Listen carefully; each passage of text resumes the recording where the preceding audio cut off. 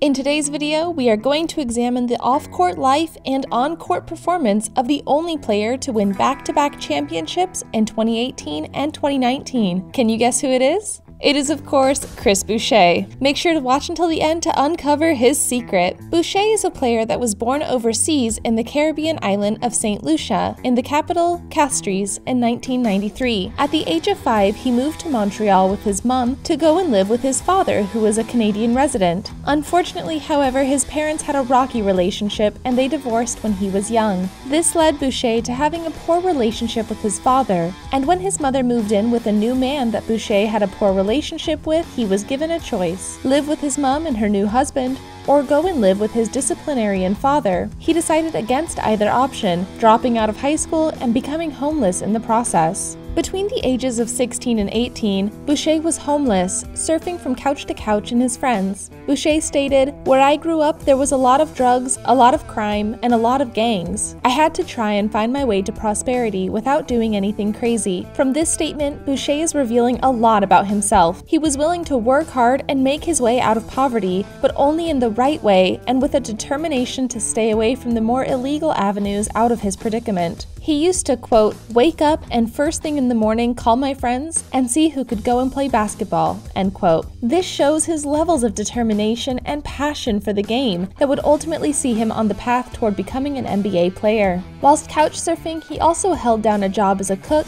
and a dishwasher in a St. Hubert restaurant. In 2012, he was offered a spot on a tournament basketball team and scored 44 points in the tournament final, which caught the eyes of Igor Rugema and Abraham Appia, two coaches working at the Alma Academy. Boucher joined Alma Academy, a school that was created to give children from less well-off areas of the city an opportunity to flourish and provide them with career prospects that they would not have received anywhere else in their life. Under the guidance of coach Abraham Appia, Boucher Boucher began to flourish. Appia stated, He grew a lot at the academy. It was the first time he was in a stable situation. Boucher is truly grateful for the part that the academy played in his life, and it gave him a goal to work towards a life as an NBA player. Boucher also worked towards gaining a high school diploma while at the academy a step he knew was necessary not just for his basketball career, but to further his potential career options if basketball did not work out. While there, Boucher scored 29 points and grabbed 12 boards against the New Jersey Blair Academy, which attracted interest from scouts. Boucher has maintained close links with the staff and other players at Alma, and it's obvious that he treasures his time spent there as it gave him the platform to develop his game in a safe and stable environment. Without Alma, it's likely Boucher would not be where he is today. Boucher eventually moved on from the Alma Academy to junior colleges. He was required to do this in order to get his grades up to a good enough standard where he could move on to the NCAA and begin to play high level college basketball. During his playing days at the junior colleges, he made a name for himself as a hard worker and tenacious rebounder and began to attract interest from the bigger four year schools that were part of the NCAA. He eventually received enough interest that he was able to fill a shoebox with all the letters and emails from interested parties. Boucher eventually chose the University of Oregon. His coach, Dana Altman, was worried by Boucher's thin physique, but more than impressed by his energy and tenacity on the court. In just his second game, Boucher was facing off against Rico Gathers, a player that would go on to become an NFL tight end. Boucher scored 15 points and grabbed 8 boards. He also set a single season blocks record for Oregon with 110 blocks over the course of the season. This shows just how tenacious and determined he was. Playing at power forward and getting that many blocks is perhaps something you would expect more from a center.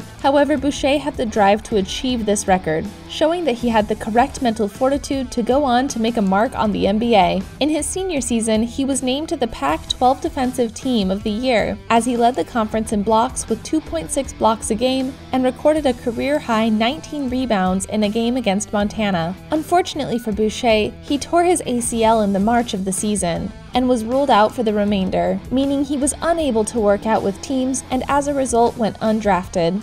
Journey to an NBA team.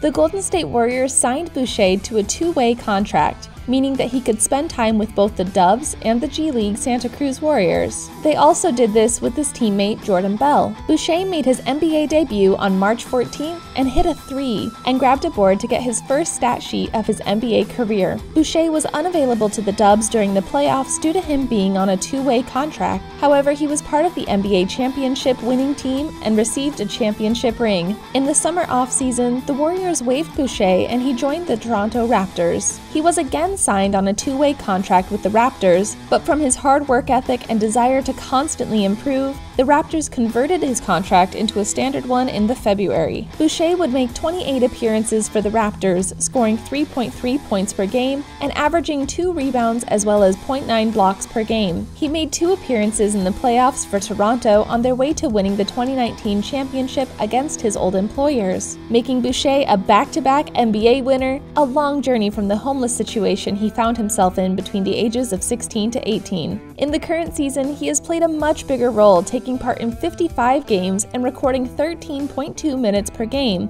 a jump from the 5.8 the previous season. He is also attempting more field goals and averaging double the amounts of points, 6.3 from 3.3. He is averaging a block a game and 4.4 rebounds, solid stats from a bench role player. Due to the increasing minutes and role on the team, Boucher has begun to improve his statistics and career highs, scoring 21 points in a win over Dallas. This was swiftly broken three days later in a game against the Boston Celtics, where he recorded 24 points. He also recorded a career high 15 rebounds in a matchup against the Phoenix Suns. This season was starting to look like a breakout one for him, with the higher minutes, higher averages, and breaking his career highs, allowing him to develop momentum, and the Raptors were sitting at second in the Eastern Conference, appearing to get over the loss of Kawhi Leonard before the season was stopped due to the current pandemic.